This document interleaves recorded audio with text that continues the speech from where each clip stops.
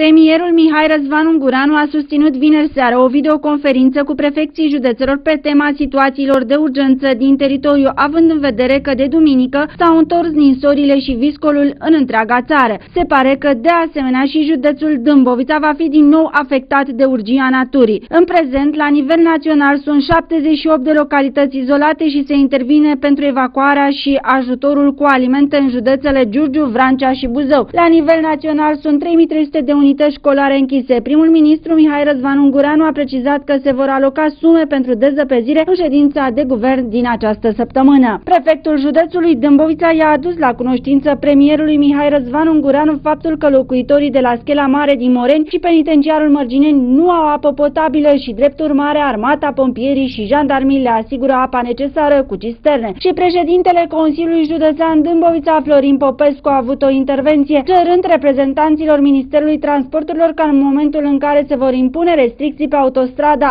A1 București-Pitești să fie înștiințați, astfel încât să se ia măsura închiderii drumurilor ce duc către autostradă. Dâmbovița.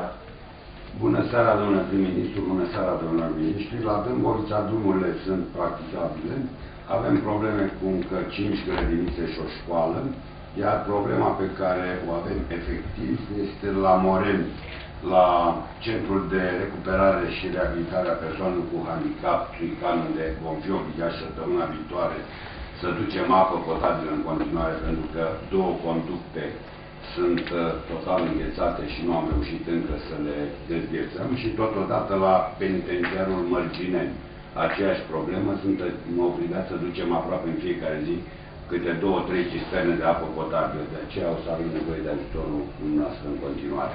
Vă mulțumesc. Domnul președinte al Consiliului de am vrea să mai spună ceva. Vă rog, domnule președinte, bună seara. Bună seara, domnule ministru, noastră și echipa noastră.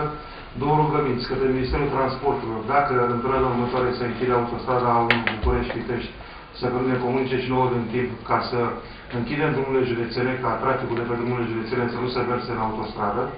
Și a doua solicitare către Ministerul Administrației și Internelor să ne comunice și nouă situația drumurilor județene închise din județele limitrofe, pentru că degeaba se circulă la noi în județ dacă odată ajung la graniță nu poate să treacă cetățenii și de aceea se vor forma uh, două de autoturism. Vă mulțumesc, succes noastră și nouă în cabinet.